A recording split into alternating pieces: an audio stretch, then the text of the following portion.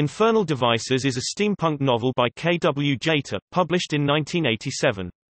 The novel was republished in 2011 by Angry Robot Books with a new introduction by the author, cover art by John Coulthart, and an afterword by Jeff VanderMeer.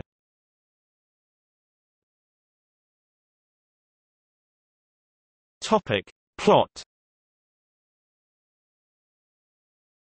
The novel takes place primarily in Victorian London. The story begins as a mysterious brown leather man enters George's watch shop with a strange device in need of repair, claiming it was made by George's father, a brilliant watchmaker skilled in all forms of clockwork devices.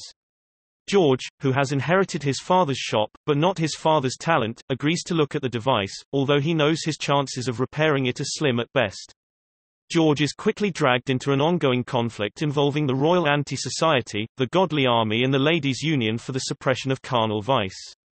His investigation leads him to a strange neighborhood in London, Wetwick, which is inhabited by denizens who are a hybrid of humans and fish.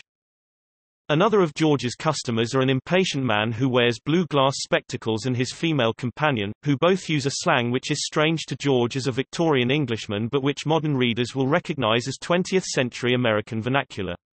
The strangers are not time travelers but are Victorian English citizens who possessed a device which enabled them to view what is, for them, the future. They have learned late 20th century slang through lip reading.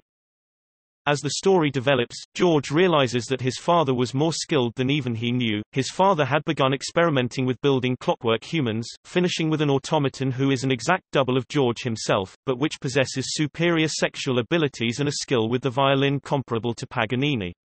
Inevitably, a woman abducts George in the mistaken belief that she has captured his clockwork twin.